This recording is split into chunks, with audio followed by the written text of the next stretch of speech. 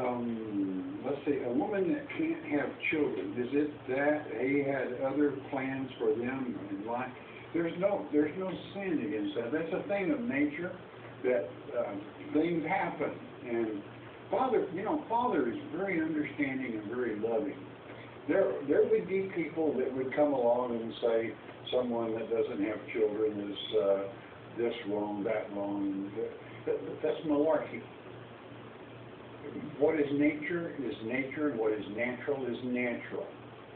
And it is true that many times God has other plans, and um, God's elect are put where He wishes them. Therefore, God's work can be completed and finished as God has written.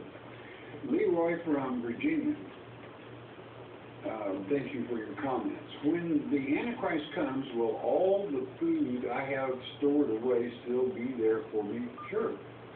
It's, it's, until you speak, until you're delivered up, and then they're going to feed you. You'll, you're, that's why it doesn't hurt to have uh, a little food on hand. If someone is condemned to the lake of fire, will they burn for an eternity, never ending, being in the fire? Well, what does Ezekiel chapter 28, verses 18 and 19 concerning the wickedest man that God ever created? And that's Satan, king of Tyrus. what does it say happens to him?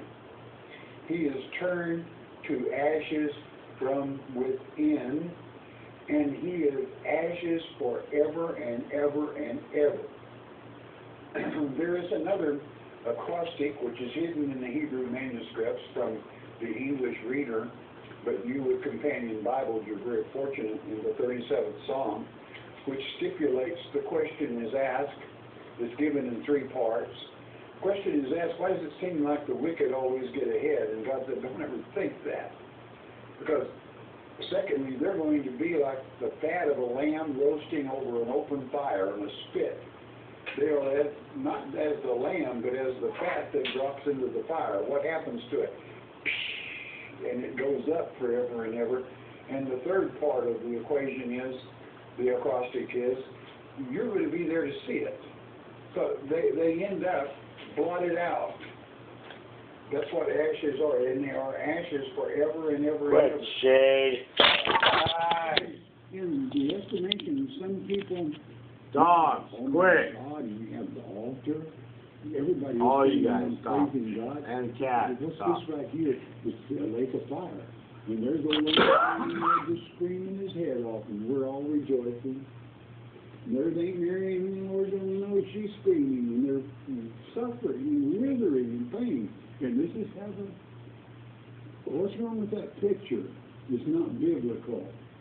Ashes forever and ever.